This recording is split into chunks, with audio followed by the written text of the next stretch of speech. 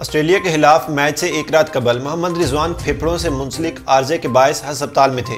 नाजरीन, इसका इंकशाफ पाकिस्तान के बैटिंग कोच मैथ्यू हेडे ने किया है। मैथ्यू हेडे ने कहा कि मोहम्मद रिजवान एक फाइटर खिलाड़ी है। बैटिंग के दौरान भी ऑस्ट्रेलियावी फास्ट बॉलर मिचल स्टार्क की गेंद भी मोहम्मद रिजवान को लगी, लेकिन मोहम्मद रिजवान की खुशकिस्मती कि वो हेलमेट पहने हुए थे। मोहम्मद रिजवान के इस जज्बे को देखते हुए भारतीय मीडिया क्या रिपोर्टिंग कर रहा है, आप ये वीडियो क्लिप मुलाजा पाकिस्तान के रिजवान का यह जज्बा देख लाखों क्रिकेट फैंस ने किया मोहम्मद रिजवान को सलाम।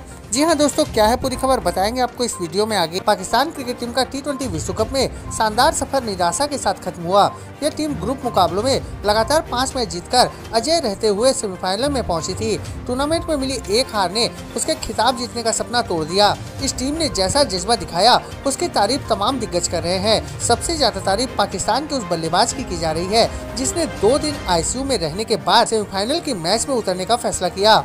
पाकिस्तान टीम को गुरुवार को खेले गए टी विश्व कप के दूसरे सेमीफाइनल में ऑस्ट्रेलिया के खिलाफ हार मिली है। टॉस हारने के बाद पहले बल्लेबाजी करते हुए टीम ने चार विकेट पर एक सौ छिहत्तर रन का स्कोर खड़ा किया था।